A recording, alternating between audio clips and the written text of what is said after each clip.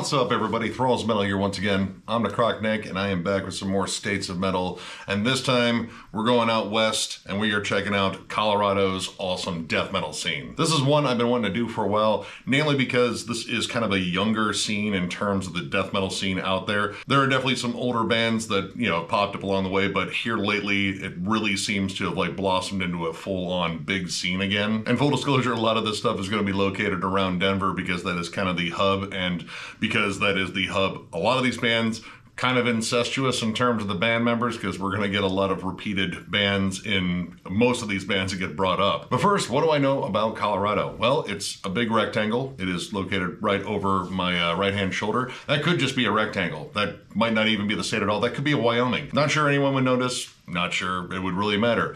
Anyway, this is known as the Centennial State because it was formed in 1876, 100 years into our country's lush, wonderful, admittedly really dark history. It was probably named that because the mountain state was already taken by West Virginia, but uh, I've actually been to Colorado a couple times, and we recently went out there for the Denver Death Fest and got to check out the Denver airport, which is very strange. I know all the murals were covered up, but I've looked at them and I was like, man, that is some really wild artwork to have in an airport. And before I got out there, I actually talked to someone about the strange conspiracy theories around the Denver airport itself, the uh, artwork, people saying that there are tunnels underneath it where like the reptilian hatchlings are housed or whatever. Conspiracy theories are weird. I do know that uh, their mascot at the airport, Lucifer, is quite a piece of work. Apparently, he killed the uh, person that designed him, it, like fell over on him or something like that.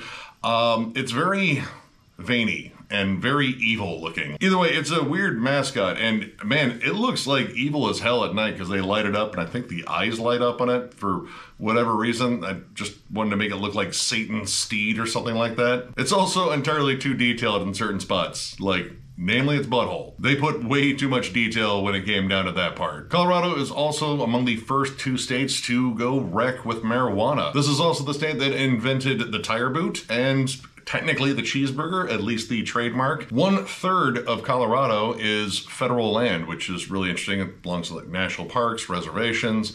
So I, I, think that's just kind of an interesting stat. It's also the home of the world's largest natural spring. If you would like to experience being boiled by the earth, you can go there. And much like Georgia, there's an interesting stat about governors for some odd reason. Uh, Colorado had three governors in one day. In 1905, Governor Alva Adams was forced to resign due to election fraud. Now, the gentleman that he ran against, James H. Peabody, ended up replacing him on the condition that he resigned immediately, which I don't know what the details there in terms of why he had to resign, but that was a condition on him just being governor for a day, or rather like part of a day, I guess, because he had to yield to Lieutenant Governor Jesse F. McDonald. But honestly, I don't think anyone knew the difference because if you're looking at these gentlemen, they all look the same. Like they all got the womb broom. Outside of maybe one having glasses, they all kind of look the same, dress the same it probably didn't matter. Like people just, you know, looked at him and was like, yeah, that looks like the guy I voted for, whatever. And the other interesting tidbit I found, I just thought it was kind of, uh, I don't know, just weird. Uh, Rocky Ford is the melon capital of the world. Uh, they produce more melons than everyone else, I guess, and they absolutely love that. They embrace that to the point where even like their high school mascot in the town is the Meloneer, which I didn't look up what the high school mascot's costume looked like. It's probably just what I'm thinking, or probably more tame than what I'm thinking. I don't know what I'm thinking, honestly. It's just a weird fact. But again, Colorado's home to some really cool death metal, and again, a very young and incestuous scene, and we're going to get into a lot of this. A lot of familiar names in here. I also have some more underground ones, and I kind of varied up in terms of like styles of death metal in here. So we get a little bit of blackened death metal, there's more death doom, tech death, progressive death metal, a little bit of death grind. We kind of mix the pot a little bit, and uh, yeah, we're just going to get right into this. Cephalic Carnage, Anomalies. This is the fourth album from this Edgewater technical death grind legendary underground band. I became a fan of this band with this album.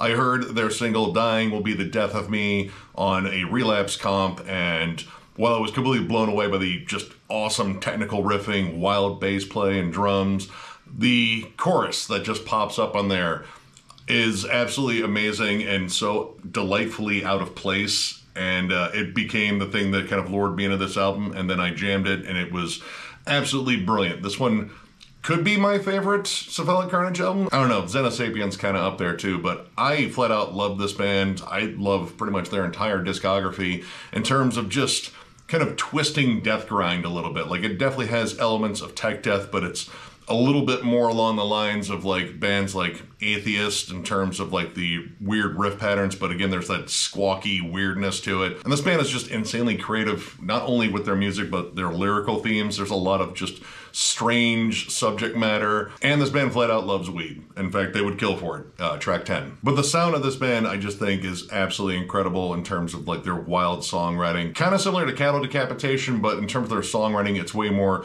like loose and chaotic. It's kind of like cattle decap on bath salts, or I mean, in their case, at least enough weed to put a horse in a coma. But despite how technical this is, it's very catchy in its sort of like weird bonkers way, like create a lot of cool harmonies and melodies, all while being just kind of controlled chaos. Like, so much this album feels like it's on the brink of absolutely losing its shit, but it kind of reels it back in with like a good hook or a solid riff or a melody, and then you have Len's just absolutely nuts vocal performance on here where he's just ranting and raving. A lot of his vocals don't necessarily follow the meter too. Like they kind of have their own meter, much like someone ranting and raving, and I think that adds a lot to the music itself. But this band's always good about giving you a solid riff to latch onto too. Like in between the grindy chaos, there's just great riffs and great breakdowns on here. Counting the Days, Enivore, Dying Will Be the Death of Me, these all have like really good breakdowns, just kind of get the pit churning,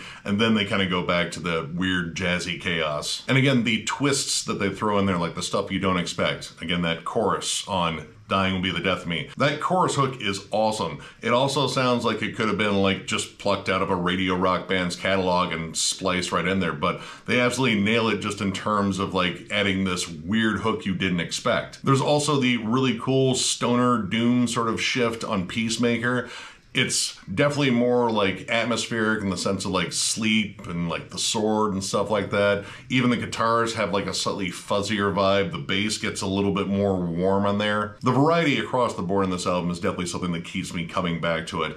Ontology of Behavior, the last track, is a very jazzy, sort of spacey jam. A lot more atmosphere to that song in general. And they have some absolutely killer guest stars on here. John Gallagher, Barney Greenway, Corporate Death from Macabre is on here, and uh, Dave Otero, who actually did the production on here. This album is absolutely fantastic, and I'll just say this band is absolutely fantastic and long overdue for a new album. I've been waiting very patiently for a follow-up to their last one, and who knows, it might happen. They are still an active band. We saw them live at uh, Maryland Death Fest in 2022. They actually closed the show, and it was unreal. They did a really cool, like, Southern rock sludge jam with Exhorder, and it was just absolutely the right way to close down the festival. It was just a big party. So the fact that they're still around, still playing killer live shows, gives me a lot of hope that there'll be another Cephalic Carnage album in the future. But for now, I'll take what I can get in terms of their back catalog because it's all amazing. But if you have never checked out this band, I think this is probably the best starting point. Like the earlier stuff is definitely a little bit more straightforward death grind. This and like Lucid Interval is kind of where they start to get a little bit strange and experimental. And honestly, I think they kind of really just opened up their sound and got better. But the important part is just check out Cephalic Carnage because they're absolutely awesome. So yeah, check this one out and just check out their entire discography. You're gonna have a lot of fun, trust me. Blood Incantation, Star Spawn. This is the first full length from this Denver based death metal act. Very hyped up band, though I think very justly. This was my first exposure to the band. I heard everyone talking about it and I jammed it for myself and I was like, holy shit, this is really good. Right away with the opening track, Vitrification of Blood Part 1. Giant 13 minute monster of a track loaded with twisted, churning riffs. It's very technical, but it's also very atmospheric, and it most definitely worships at the altar of Morbid Angel across the board. That and of course Time Ghoul. This band's comparisons to Time Ghoul are still really accurate. While this is very technical and the songwriting is very well done here, the overall sound of it is very much like 90s death metal. Lots of, you know, just cavernous howls and just kind of muddy but like good production. Like there's discernible grit on the guitars, the drums, everything. It just sounds huge and disgusting and kind of disorienting in a way in terms of their like wild transitions, but it's like disorienting in a good way. And honestly, just the overall sound of this album and uh, I'd say like pretty much all their albums really captures their live vibe. I'd say this band's sound is kind of like nebulous in a way, like it's frequently shifting, there's lots of tempo changes, wild transitions, lots of spots of just atmosphere. The dynamics on here are just absolutely insane. It can shift from blast beats and tremolos to slow, lurching death doom breakdowns. It's a very intense and brutal album, but it's also very engaging in terms of like the song structure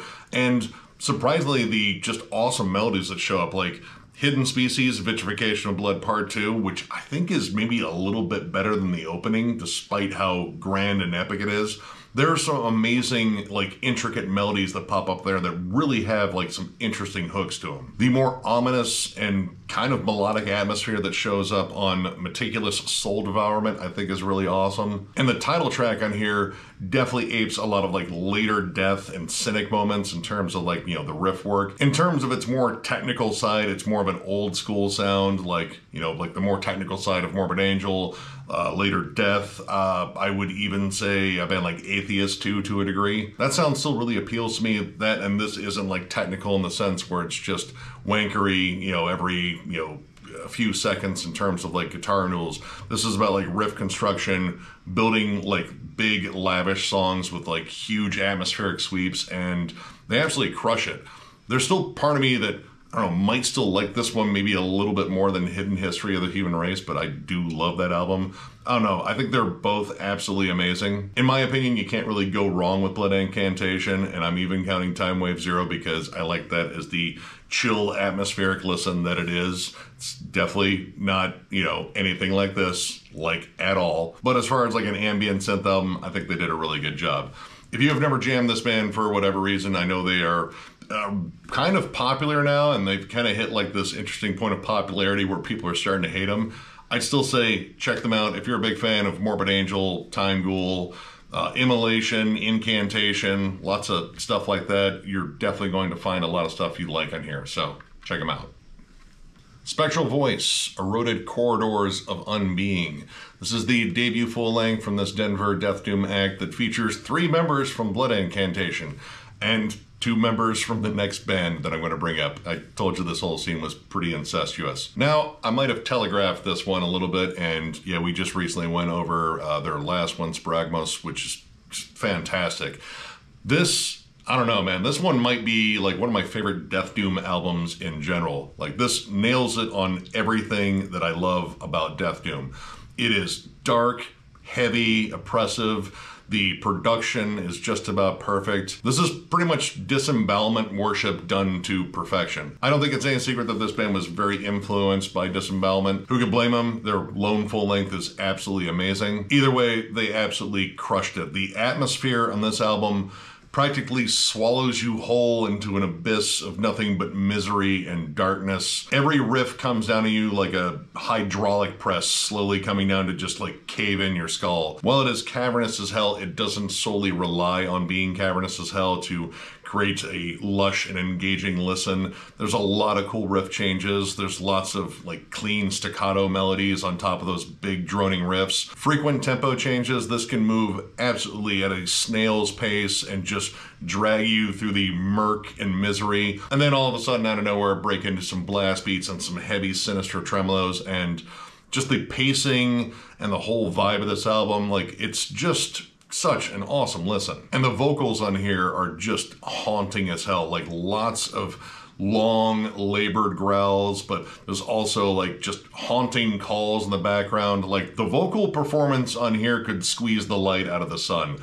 It sounds so agonized and tortured. This whole album sounds like it was recorded in a legit dungeon. And the riffs are just catchy as hell on every song, but I mean, Visions of Psychic Dismemberment and Disillusion are probably two of my big standouts on here. Lurking Gloom is a fantastic instrumental, and I love the you know, just creepy kind of dungeon sense in the background. Yet another layer of just filth and evil and darkness just kind of added on to an already just evil, dark sounding album. And the absolutely savage, slow breakdown on Terminal Exhalation of Being is I mean, honestly probably one of the heaviest moments on this album. That is definitely saying something. I love the new one. I love Sparagmos. I think it's fantastic. This album almost borders on perfection. I actually like this probably more than like any of Blood Incantation's albums, and I love those albums. This is, again, like one of my favorite Death Doom albums ever. If you're a big fan of Disembowelment, Hooded Menace, especially early Hooded Menace when they were just really slow and really murky, and even some Funeral Doom like Esoteric, check this out if you haven't. I know this is pretty popular release amongst, you know, death metal heads and anyone that's into Death Doom. But if you are a giant Death Doom fan and haven't listened to this, I strongly recommend it. It might become one of your favorites too, so check it out. Black Curse, Endless Wound. This is the debut album from this Denver blackened death metal act. Features members from Blood Incantation, Spectral Voice, but also members of Primitive Man and Khemmis as well. Actually, because I saw that they shared members of those bands, and, you know, not only I've been getting into uh, Primitive Man, but by extension Vermin Womb, I really wanted to check this one out, and oh my god, this album is just dissonant and evil and just absolutely one of the heaviest releases I think I have on this entire list and I've already gone through some really heavy stuff. The guitars on this album alone they sound so harsh and just caustic. They sound like they're being played with belt sanders rather than like guitar picks. Creates this giant wall of just dissonant, ugly atmosphere. The vocals on here are so anguished and tortured. They sound like they were recorded by the gentleman on this cover, which I'm not sure if he's like, you know, backing up ass first into the gates of hell or trying to escape. I don't know his story, but it looks painful. And to an extent, I think that sort of pain and anguish is definitely exemplified on this listen. The drum work in here is just absolutely insane. Lots of blast beats. It just sounds like the drummer is violating the drum kit. Like it's just a very violent performance. The bass on here absolutely snarls and just the whole feeling of this is just so damn dark. But it's a different kind of darkness than Spectral Voice or Blood Incantation. It's far more primal. It feels like there's like slight touches of grindcore and power violence in songs like Crowned and Floral Vice. Enraptured by Decay opens up with like a wall of like static tremolos. Like it sounds like harsh TV static being played at full volume. But at the same time, there's a cool melody to it. There's a nice groove that kind of sets it up because this album doesn't like to slow down very often. But when it does, it just kind of gives the whole like tortured vibe of this album time to expand and surround you. Most of this album I would describe as like just violent and explosive in terms of like the delivery, how the songs open up, like Seared Eyes and the title track just go right for the throat. But there are some songs that do take their time to build and kind of set the atmosphere a little bit. Uh, Lifeless Sanctum has a cool tribal build up, and the atmosphere around it is just haunting as hell. It sounds like they're legit summoning something, but like the big tracks at the end, the title track and finality I Behold, those are just monsters. The whispered vocals that show up on the title track and they do show up on Seared Eyes just adds a whole other level of creepy because most of the time it is just this layered, dense howl and again, tortured screams. You get some squeals every now and then, but there's something about whispers when there's like a more haunting section around. It just sounds like well, it sounds like your house is haunted. But the last two, I feel like the dynamics are a little bit more intricate and you can actually hear a little bit more like uh, character in the riffs because a lot of this, again, it's mostly about like the sonic torment behind it. But again, you can pick up some more intricacies in terms of like just some cool chord progressions and just interesting melodies in those last few tracks, especially. I love this album. This is absolutely dark and haunting. It's uncompromising and just vicious as hell. And the moments it does let off the gas, it's only letting off the gas to summon some ancient creature to devour your soul. So if any of that sounds like fun, of course, I'll recommend checking this out. But uh, yeah, in terms of like comparisons, I feel like it's closer to Vermin Womb than it is Primitive Man, because again, this is moving super fast. Outside of that, if you're a fan of like dissonant death metal and you like that sort of like caustic atmosphere, you will get plenty of that on here. A lot of black metal elements as well, but I feel like the ferocity of this, you know, kind of screams more death metal and to a degree like grindcore and power violence kind of mixed in there too. Either way, this is an absolutely vicious listen, and if you want to listen to like some of the heaviest stuff that has come out of Denver in the last four years, definitely check this out. Allegaeon, Elements of the Infinite. This is the third album from this Denver slash Fort Collins uh, technical melodic death metal slash progressive death metal act. Full transparency, I used to call this band Allergan just because I had no idea how to pronounce their name. But anyway, finally we have a band that does not share members with the last three bands I brought up.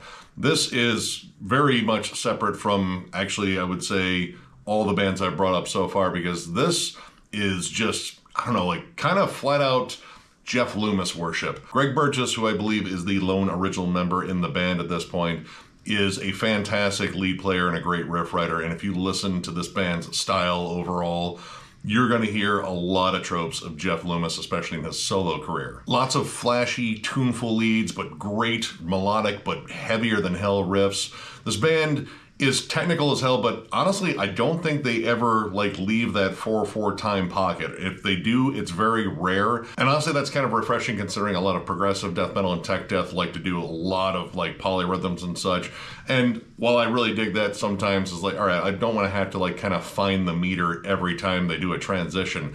These guys kind of lock in on that and just kind of change around the tempo a bit. Double time grooves, big halftime breakdowns, blast beat sections, but it's all pretty much locked in so you can just headbang your ass off to it. And the music they write, I think, is absolutely fantastic. They find a great balance between like brutality and melody. And when it comes down to like the lead hooks and the harmonies on here, they are absolutely glorious. Now, this would be their last one with vocalist Ezra Haynes, who did mostly just harsh vocals. I don't think he really did a lot of clean vocals at all. But after that, they had Riley McShane, who's a fantastic vocalist, both in clean and harsh vocals. But uh, legit, when I was doing this list, I just found out that he left last year and Ezra is back. And I figured this would be a good album to bring up because this is the one where I really became a big fan of them. I thought their second album was you know, okay, their first album was pretty solid too, but this is the one where it just kind of all came together. All the songs are just rich and dynamic and just fun to listen to. Dave Otero's production here is fantastic, and again, all these songs just have great melodic hooks as well as just being heavier than hell. Dyson Sphere, uh, Our Cosmic Casket is absolutely fantastic, and there's a really interesting video for that one. Uh, 1.618, I don't even know what those numbers signify. Doesn't necessarily matter. It is a absolutely riffy bastard, and again, if you love lead play, it is all over here, but again, spaced out really well between just great riffy hooks. You have pockets of like big, epic sci-fi sounding synths, and none of this is like so technical to the point where it'd be hard to follow. It follows a steady pace, and again, it's all about hooks and melody as much as it is about like showing you technical skill. And generally the band will choose to do that on like long instrumental passages. Like when this band hits the bridge where the leads are, they just kind of lay on the riff after riff transitions and man, they absolutely excel at it. And that is definitely exemplified in the last track, Genocide for Praise, Vows for the Vitruvian Man. I don't even know what that means either. Like, again, big sci-fi concepts, but that is a 13 minute just riffy banger. There's even some cool Spanish guitar in it.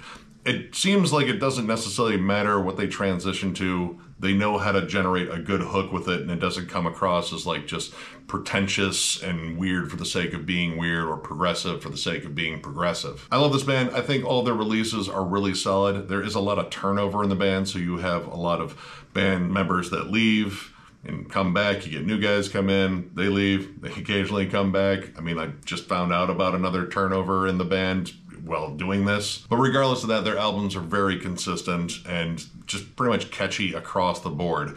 They are going to be on tour with uh, Decapitated and Septic Flesh too, so I'm eager to get a chance to check them out live finally. But yeah, if you love, God, I would say like Jeff Loomis is kind of the big one, but there's still like some cool classic Melodeath tropes every now and then, but a lot of this feels just fiercely modern. Maybe like a bit of Soilwork or scar symmetry too, kind of put in there. I don't know. All I know is you should definitely check this one out. And if you dig it, check out the rest of their stuff because I think it's all good. So yeah, check them out.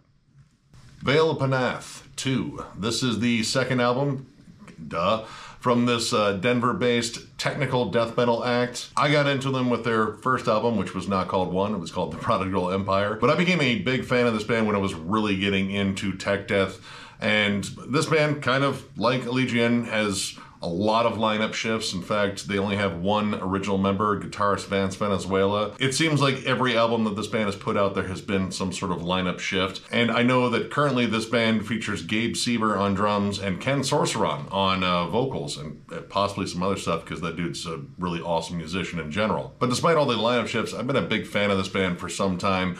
I've always liked the fact that while they are very technical, a lot of it is very centered on melody. There are tons of neo classical passages on here, some cool gothic atmosphere with synths and keyboards. And overall, I would say it's more about the riff work than it is like the constant noodling and arpeggios and stuff like that. Like there's tons of leads on here, but it doesn't feel so busy to the point where like they're just cramming every note possible into like, you know, one measure they can. And when they do lock on like good riffs and hooks, it has a very Black Dahlia Murder-esque sort of vibe, especially on songs like A Nightmare Phantasm and Clendathu. Like Black Dahlia Murder, it's very blasty, very aggressive, but there's also a lot of like good melodic sections, even acoustic passages in songs like Blacker Than and The Horror in Clay. And because this is more riff-centric, the songs show a good balance between songwriting and technicality. Not every song in here is necessarily like an exercise in terms of like showing off how well they can play their instruments.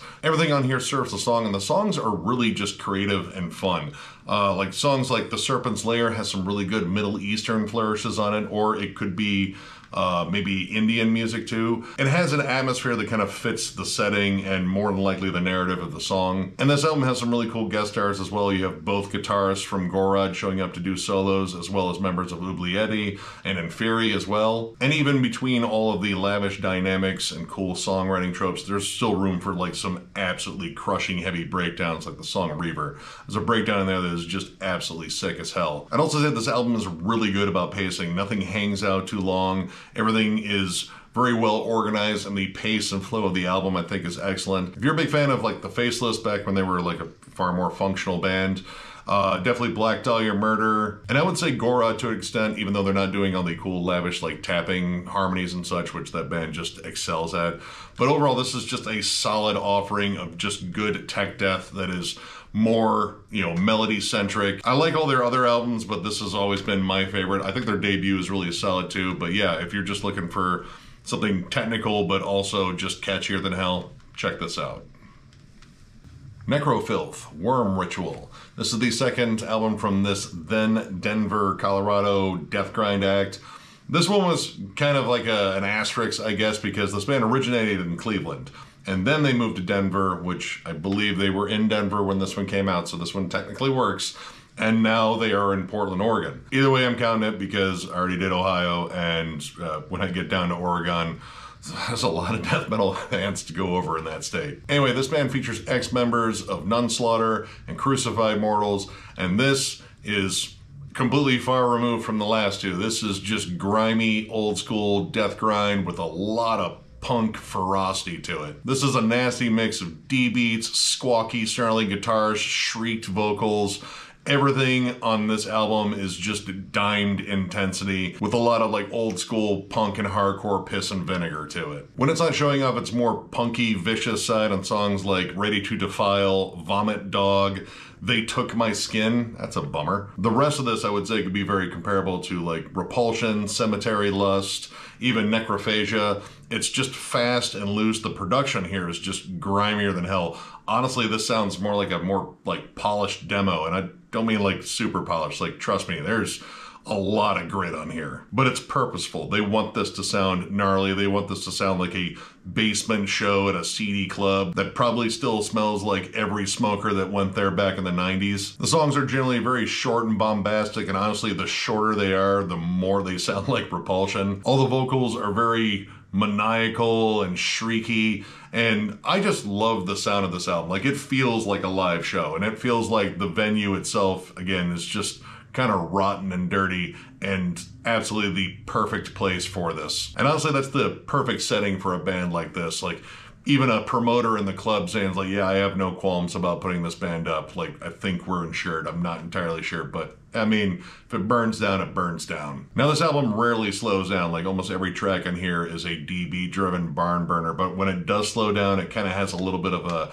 Celtic Frost vibe, especially on. Uh, Night of the Leech. That sounds like a movie I would rent as a teen from like the horror rack of my local video rental store. That and the song Gutter Oil, which, yeah, I love these song titles. They're pretty wretched. That sounds like what most crust punks use as like aftershave or deodorant. But that song is a little bit groovier, a little bit sleazier, and just to make sure you know a lot of their origins go pretty old school, they do an awesome cover of Poison, originally done by Venom not poison, thankfully. But they absolutely nail the cover, arguably adding maybe a little bit more evil and sleaze to it. This is just a fantastic listen. Front to back, this is just pure grit and grime and filth. And I imagine if you see this band live, stench. There's probably some stench associated with this. If you're a big fan of, again, like Repulsion, Necrophagia, Cemetery Lust, but also like Venom, maybe like a little bit of Midnight, but decidedly faster and meaner, check this out. I still need to check out their first album. Hopefully it's as good as this one. But yeah, this is just an absolute banger.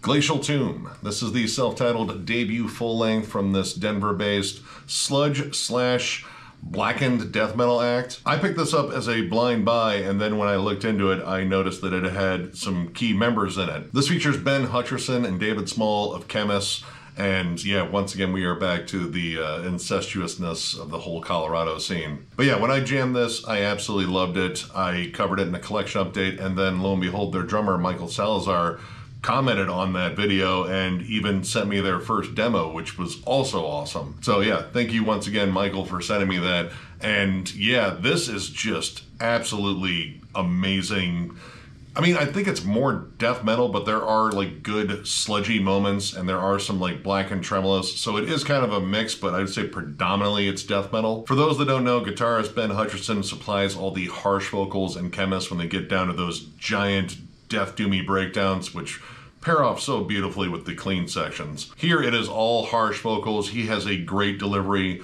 long labored screams. The production itself I don't think is like necessarily super cavernous, but it is heavier than hell. Like these guitars have so much bite to them. But despite them all being harsh, there's a lot of great dynamics to them where they can go from like these high, shrill, blackened screams to low guttural roars the lower end definitely having a lot of like incantation and immolation vibes to them. And that coupled with the just absolutely savage riffs on here just gives it a very sinister vibe, especially on tracks like uh, Breath of Pestilence. The song Witness has just a soul crushing, heavy Death Doom breakdown on it. It is one of the most vicious points on this album for sure. And because they blend three styles on here, there's a lot of cool like dynamics in the riff work. The song Sunless Dawn, there's a really good flip back and forth between like death metal chugs and more like icy cold black and tremolos.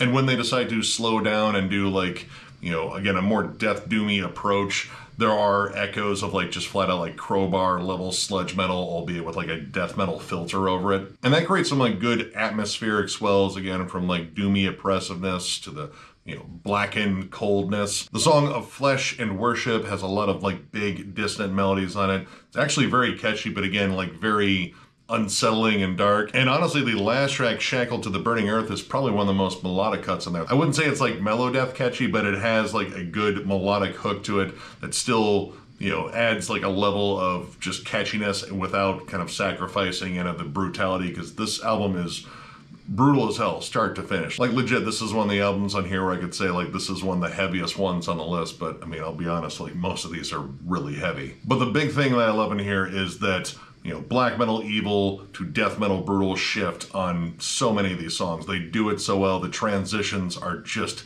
absolutely huge and you can just feel the weight of each moment just hit you. Now this came out in 2018 so it's been a while since this band has released something though they did put out a new single this year. I think it was on one of the Decibel Flexi discs so that tells me they're actually working on something new which is awesome. I'm totally down for another Glacial Tomb album obviously. Also, I wouldn't mind another Khemmis album either, but I guess we'll just see. If we get both, I'm going to be happier than hell though. But yeah, if you've never jammed this one, I strongly recommend it. Big incantation and immolation vibes, but also just lots of doom and sludge and again, like black metal atmosphere. This thing's just an absolute beast of a listen and I strongly recommend it. Phthisis, or however the hell you say that. Embodiment of Decay. This is the first demo from this Denver-based death metal act. I got this one years ago in a distro. Honestly, I liked what they were compared to and uh, I really enjoyed their logo because it is like made out of like bones and organs and such. And I was like, well, yeah, this is bound to be some absolutely gross death metal. And to the surprise of no one, including me, it definitely was. Now, this band doesn't share like members with a lot of the bands that I've brought up, but they do share members with one band that I just wanted to say their name because it's awesome. Uh, they're called Gastric Phantasm. That's like a more embellished name for a silent but deadly fart. Or maybe it's that brief pause in between a Taco Bell dump where you're actively not shitting at the moment and just sitting there sweating going, I'm not doing this again. I swear to God, I'm not doing this again. You'll do it again. Anyway, back to this band. This is some dense, sludgy, old school, just grimy, filthy death metal. Very much uh, along the same lines as like early Tomb Mold, Phrenelith, uh, I'd even say like Cerebral Rot. The guitars are muddy and murky and filthy. It does take a little while to get to them because the opening track, Detestable Putrescence, uh, bit of a long intro there of just like noise and TV static and background growls, but once you get down to it, this is just absolutely filthy sounding. But honestly, I kind of like the mix of it. Like it doesn't sound muddy to the point where you can't hear instruments. You can hear them all because they're all really loud. But it has like a fun layer of mud on it that you would expect from a demo. The vocals are just giant cavernous ogre belches, and I absolutely love them. Definitely more groove laden, like you do have pockets of blasts and such and D beats, but man, this band likes to lay on the groove, and the breakdowns on here are just absolutely sick. Detestable putrescence and rotting verming flesh are absolutely filthy, and the breakdowns on there are just fantastic. But man, when this band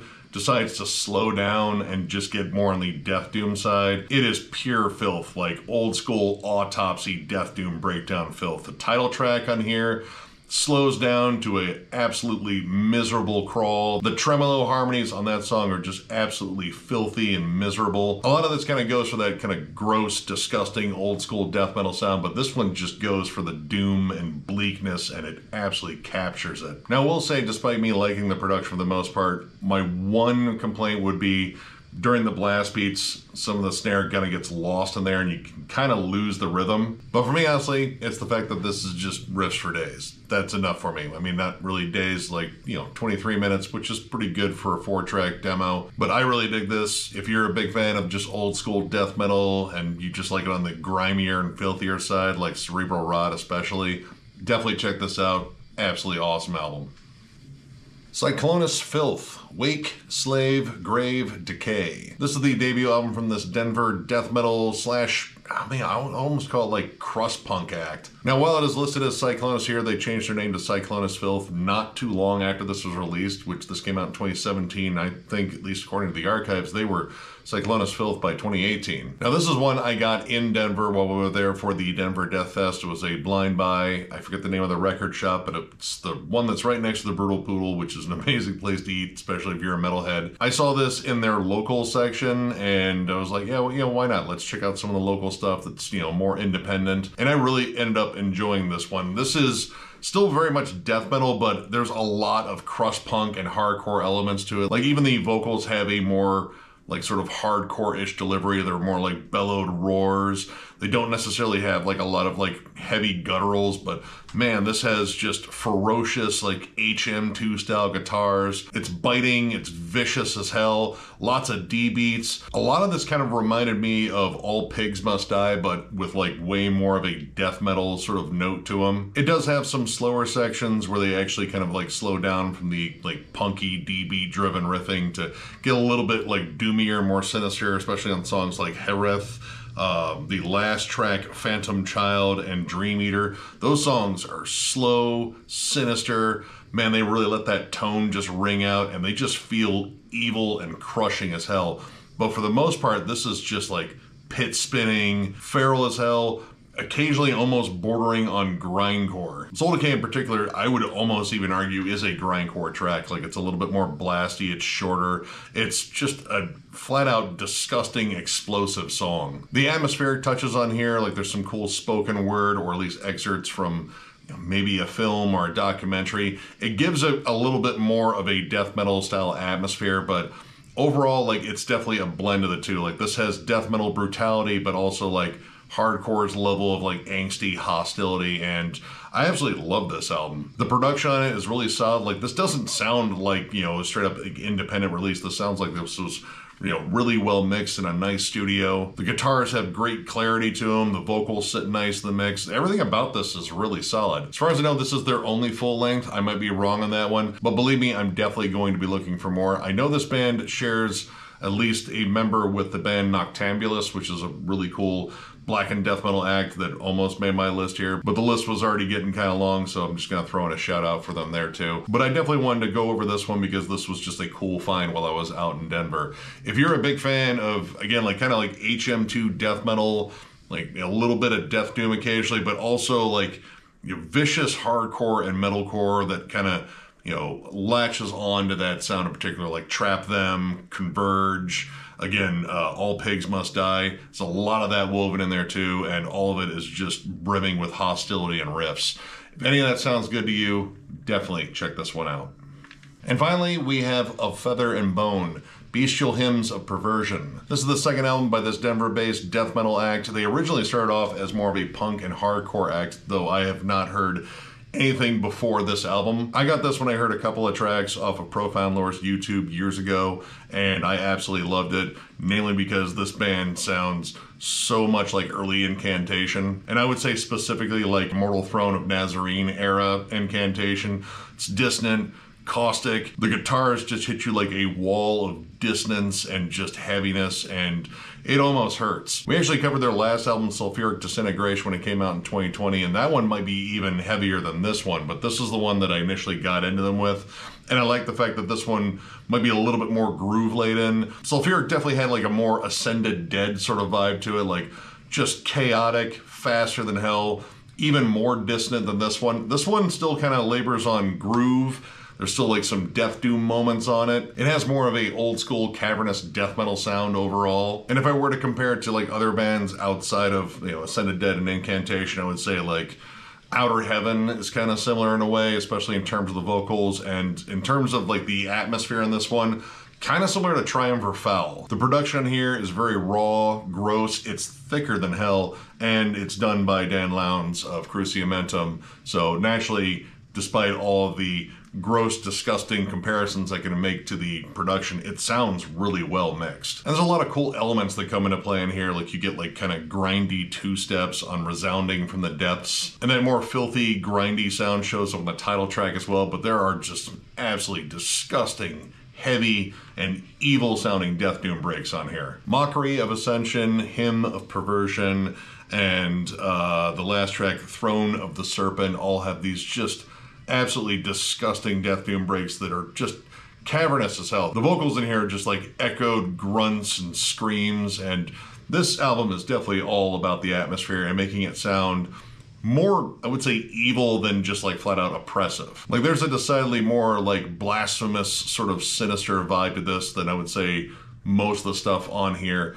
And man, the guitar tone in here is just disgusting. The opening riff on Throne of the Serpent sounds like Dismember covering Morbid Angel, so you get those creepy, sinister tremolos, but played with like kind of a fierce HM2 buzzsaw sound. That's music to my ears and, you know, fans of that stuff. Anyone else, that would sound like the gates of hell being pried open. Pretty much everything about this album is just primal, savage, blasphemous, and I mean, if you like just like 90s death metal and specifically like more cavernous death metal in general, you are probably going to dig the hell out of this. If you already like Incantation, especially early Incantation, you already got your foot in the door, but I would also say Ascended Dead. Definitely some Morbid Angel in there too. Just all the dark, heavy stuff in the world. It's definitely this.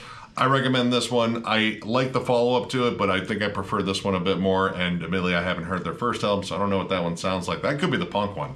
I don't know, but I'm eventually going to check it out. But yeah, this one, definitely check it out.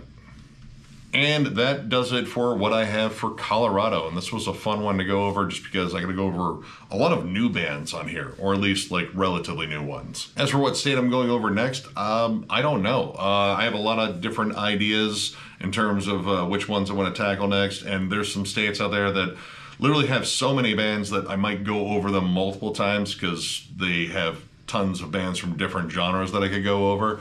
And honestly, there are some states out there that just don't have very much at all that I might just kind of compile into one like these are the ones that are left. So yeah, there's a lot of possibilities with this, and then eventually I want to kind of get outside of the U.S. borders and uh, go check out the international ones. Either way, if you enjoyed this video, give it a thumbs up, and if you are new to the channel, subscribe because we do stuff like this all the time.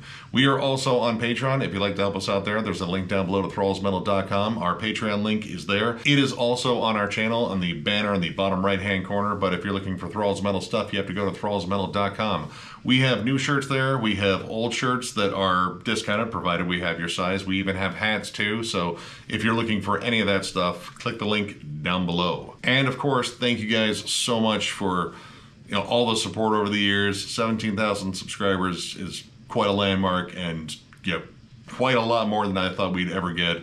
And we appreciate every last one of you. And of course, we're going to overload you with as much content as possible. So one more big thank you because you guys are absolutely awesome. So one more big thank you because you guys absolutely rule. And we will catch you later.